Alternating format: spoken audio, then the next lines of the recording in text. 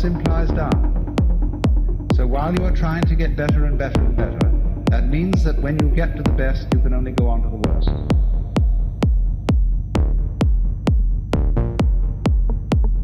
And then, if you're lucky, you recover from the illusion that you're just little me, the so and so, and you attain the state of nirvana, which means the blown out state.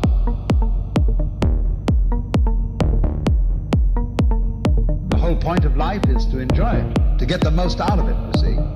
And the other people who tried that and then they found it was sour grapes or something, you know, or they burned their fingers in the pursuit of pleasure. The girl that was so beautiful eventually fell apart or just turned into a shrew and uh, whatever it was. And uh, so they said, instead, let us torment ourselves. Because when you're on the tip of a spike, you know you're there. There's no doubt about it. And also, you know that you're expiating for everything. This, uh, somehow, by sitting on the, on the spike, you are paying for your guilt. And so long as you hurt, you're all right. See?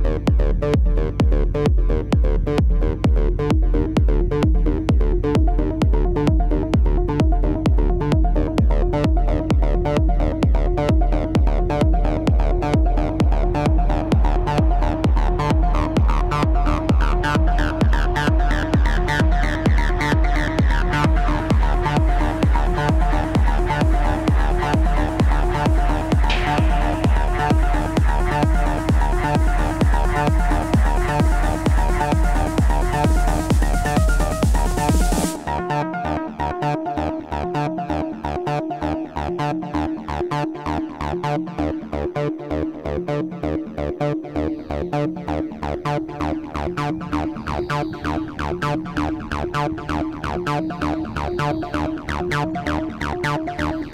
you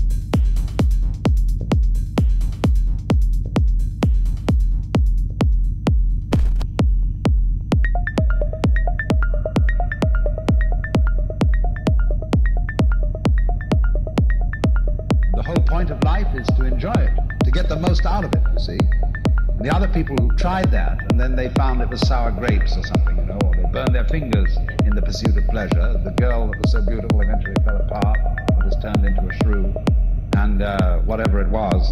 And uh, so they said, instead, let us torment ourselves